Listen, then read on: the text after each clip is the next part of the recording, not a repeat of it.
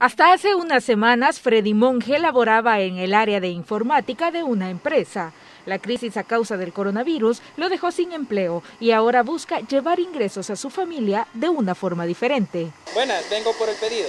Bueno, sí, ahorita, ahorita se lo estoy preparando.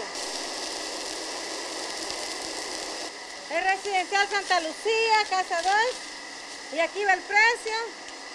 Es parte de un grupo de jóvenes que se encargarán de hacer entregas a domicilio de los pedidos que residentes de la colonia Santa Lucía hagan a comerciantes del mercado de esta comunidad.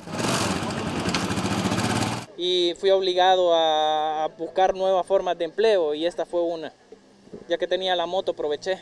La municipalidad de Ilopango ha puesto en marcha la iniciativa Mercado Delivery. Con esto trata de reducir la probabilidad de aglomeraciones y generar una fuente de empleo.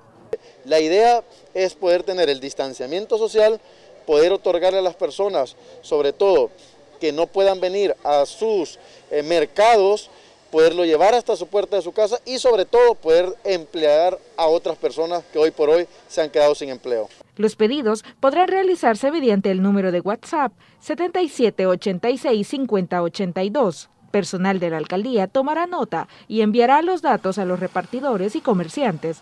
Se podrá elegir en un listado de 60 emprendedores que distribuyen variedad de productos y 12 jóvenes harán las entregas. Las expectativas de que el proyecto dinamice la economía local son grandes.